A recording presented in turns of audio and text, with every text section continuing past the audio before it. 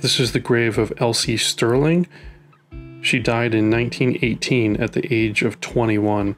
Uh, her stone had fallen off and was just propped up against the uh, the base here. And uh, John Appell of Atlas Preservation is leading a class here on how to reset monuments. Uh, so you'll see the the video here um, of him leading this class. take a look and see what's going on here.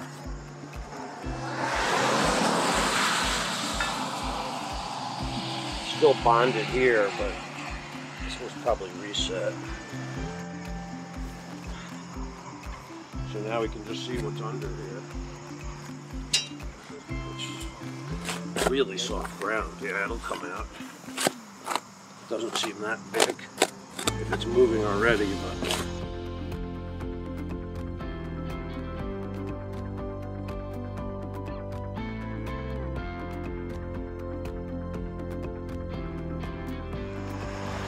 perfectly level. So uh,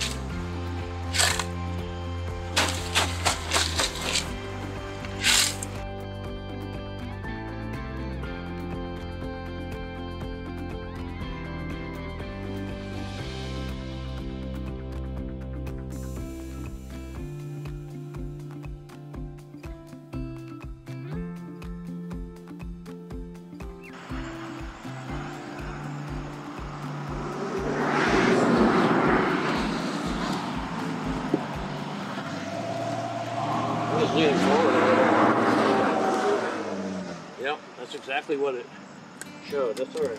Just disappears. pieces of 2x4 cut up. These are great for the fulcrum that he's using. Leverage.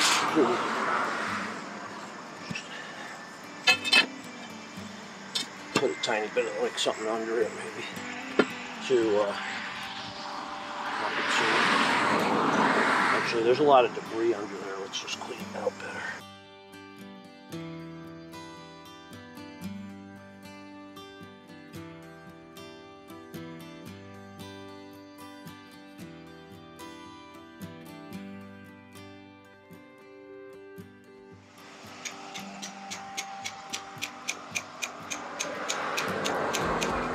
Is some more.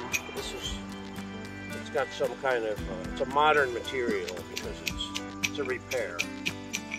Also, you can see the original pin here failed, obviously. How long do those pins last? Huge range. I mean, some are still great. Other ones expand and break the stone. So it depends on how big they were and especially what they put around the pin to anchor them together. And so sometimes they used like a soft mortar and, it, and that, that then it didn't do damage. But so a lot of time actually they use sulfur because you could make it molten and pour it in. But unfortunately what happens with sulfur when it's against rusting metal is it makes sulfuric acid in a dilution and so it tends to dissolve everything it, sometimes the stone just disintegrates. Really bad in certain places, especially when it's more polluted. Uh, more polluted areas, uh, much worse damage. Places like Philadelphia, Washington, D.C., Baltimore. It's, it's, it's bad. The stones are breaking, so what I'm trying to say is that it expands so much, metal can double, triple in, in, in size. It's called metal jacking, rust jacking. And so this, it'll literally crack the stone. It'll break it into pieces sometimes. And um, big problem in some areas, but I don't see a lot of pin damage here, so that's a good thing. That's a stainless steel brush. The only time we want to use metal is on the mating surfaces because these are never going to see the light of day again. And so we're just going to keep it on the flat like that. And uh, we just got that all cleaned up pretty well. And then we'll work on cleaning the other side. So if we don't have a good clean surface, we're not going to ever, you know, get it to join well. So it's like prep, just like if you're painting a wall, although painting is, you know, all cosmetic mostly, but it's not gonna, the paint won't last if you don't do good prep. And so this is the same way. And then also it'll push the pieces apart. A lot of time people join on top of previous repairs. So yeah, we can just stand that up temporarily. Actually, we could, we could do that, but yeah, we can do that. Exactly, so let's just clean the heavy stuff here.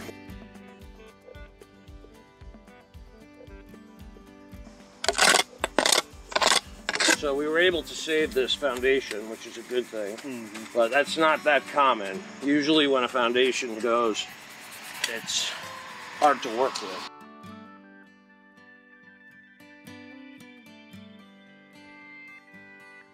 Dry stone construction is a whole thing that it's amazing how strong. You could build dry stone arches if you have the skill. This isn't a heavy one. If it was heavier, we can we can uh, move it. Well, anyway, it's heavy enough, so it's it's. Uh, I'm just gonna get it up on a pad so I don't dig it into the mud. So I can walk things pretty easily. This is an odd shape to walk, but it is still walkable. Not that heavy. What I'm gonna do is just get this right in a sweet spot so I can then just flip it up. Okay, and as far as I know, it goes. The, I'm good. As far as I know, it goes the same way. To keep it simple, if you roll things over and you don't spin them, then they go back the same way. The other thing is taking photos before you start, but it's a lot of time it's obvious if all the inscription goes one way.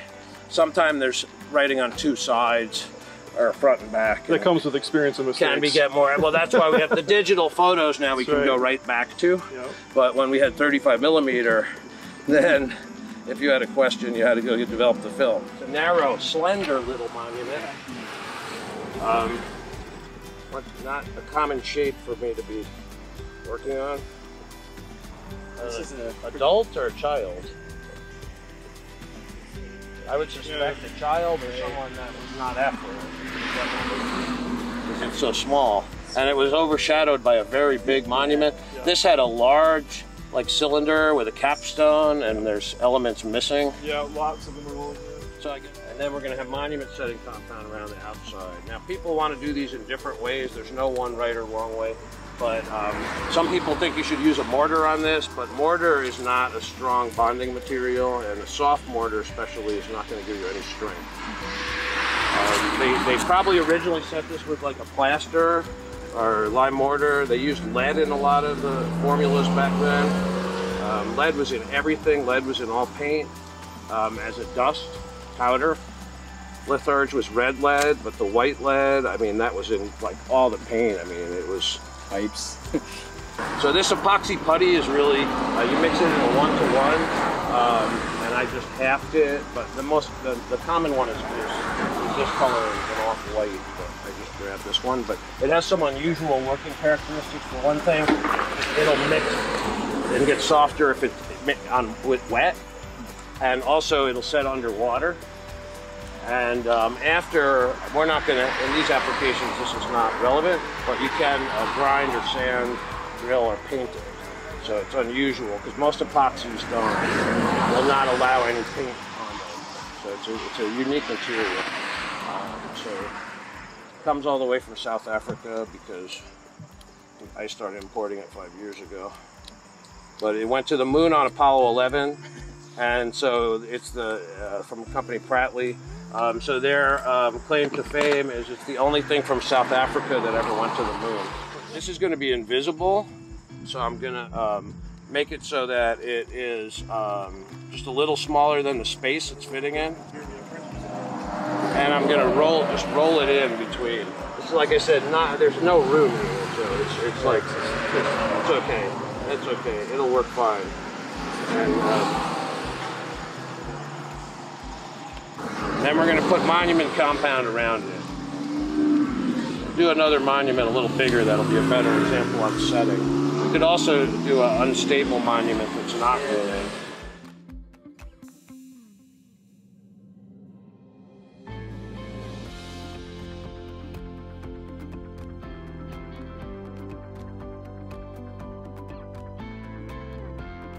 Want the spacer to fall out. We'll just take care of that after. Because this is so narrow, it's going to want to slide. But what I'll do is I'll put my my knee in front of it because I've done this a few thousand times. And okay, and now we go back low down on it like this and get it to seat itself, get it to squeeze out, and um, come down to the spacers basically. and then we're gonna trim it. And the other thing is this, this has a wash on it, and that is the angle. That's what you see right here. That's called a drop wash on a monument. That's aesthetic, but also it sheds water. So um, the wash uh, establishes where this sits. So after we trim this, we can sight it and see. We can measure it also, but it's really more of a visual thing with, with a stone like this. Fascinating. So I'm gonna trim it and you're gonna get a nice even edge like that. I love to watch people that know what they're doing. When you do a few thousand, you get good at it. so I started setting monuments in 1986 and I set thousands of them, but then I got into fixing them full time right around Y2K. As I like to say, the last time the world was gonna end.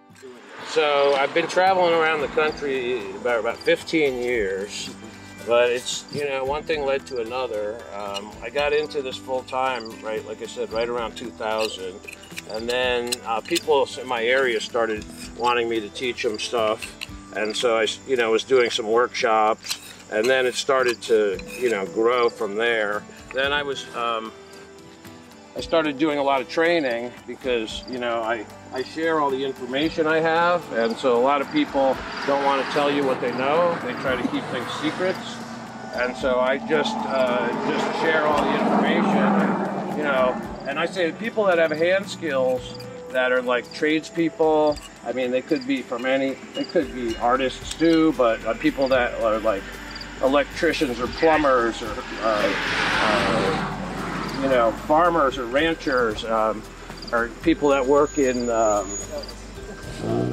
refineries and stuff like that. A lot of them pick up these skills quickly. Is what I'm saying. Because if you know how to use tools, and you and, and you're strong, and you're, you're accustomed to using, you know, shovels and levels, and you've done some masonry. I mean, you can pick up the skills, you know. So you got it to seat itself a little more. And the thing is too, historic stones, the milling and everything varies a little, so they're not always perfectly square. That's much better. It's within the bubble. That's perfect on that side. So it's actually not cut perfectly symmetrical. That's better that way. It should come back a tiny bit. The thing is that it's such a light stone that I have to help it to go down because it's it's the, the putty is is thick enough to be opposing it. With a heavier monument, you're not going to get that effect. So it's much closer. And uh, that's So, about long trim will putty last? Uh, this will last indefinitely, pretty much forever, unless someone hits it, because it's a double bond. So the seal on the outside will protect the epoxy putty internally, and the seal on the outside, if it's not broken, will actually slowly harden. It'll stay pliable for a long time on the inside, and so because it squeezes out, but some squeezes in. And so it'll harden from the outside slowly by oxidizing, but it'll take a long time to get hard. Okay, no more TV tonight. I know this piece wasn't loose, but would it Right. pay to put the Uh, you could do that. If you want to do that, you're welcome to, and I'll show you how you do that. And I have really um, tool well suited for that, which is a really narrow tuck pointer. And we'll just mention about tools for a second. And so um, tuck pointers are what we were just what I was just using, but that was a bigger version. Um, the other most common tool you're going to want to use to do a lot of stuff um, in this field will be a margin trowel. So the two probably first tools, if you because you could do um, mortar work with this, and you can also do other things. Uh, but this is a margin trowel, two by six inches, and this is this is a tuck pointer. This one's a little bigger than. Um, this would be more of a, a three eighths would be. These are all very uh, well worn, um, but um, they come in all different sizes. But anyway, what started the whole discussion? This is quarter inch. That's a smaller one still. See, so they step down um, you know, in order, obviously, and they go from the smallest is what I was going for is 3 16ths, which is uh, this one. Try to get one that's a little better condition. Here's one that's a little cleaner, and that's a 3 16ths. Um, that's the smallest one made. These are all Marshalltown tools, and these are, um, well, Marshalltown is in Iowa still, the corporate, but now they make these in Arkansas, but they're inexpensive tools they make in overseas. Um, but these are still made in America. Um, also, these are either a wood grip or a soft grip, um, and these are their Premier line tools. And this is a bigger um, margin trowel. You don't see these often. It's a two by eight. These are excellent for mixing in a bucket. If you're mixing a little mortar, and you can put it in a two gallon bucket, you can kind of tumble it around like a washing machine, and it makes it really easy. So John, before you go further, the, the, the thin one that you're talking about could go on here. Would that epoxy provide enough of a seal and hold, even just on the outside? So what? Uh, what I'm not gonna. This is already bonded here, and someone reset it. So this was just going to be to fill this joint, Yep. just so it's a seal and so biological doesn't start. So we're not going to use any epoxy on it. We'll just use the monument setting compound. Okay. And so if we just roll this little bit out like this, um, so anyway, um, so if we come in like this, and this is not toxic. You, you don't need gloves, but it'll get your hands dirty from. There is oil in it, so but that doesn't hurt the stone. But, but you shouldn't smear it into it, and so you want to stay keep it in the joint. And then um, yeah, I didn't try to come around and damage on the other side. Well, if you're going to do all the So sides, yeah. um, I was just doing a demo because someone Yeah, talked sure. about it. Now this is kind of a, a, a much brighter. It'll it'll weather yeah, it'll weather in, Yeah. but anyway, it's it's. Um, yeah, I, I mean, so yeah, I'm with you. So it's it's not hard to do, and we can just run this around like this. And uh, if someone wants to uh, play with this a little, there's really nothing.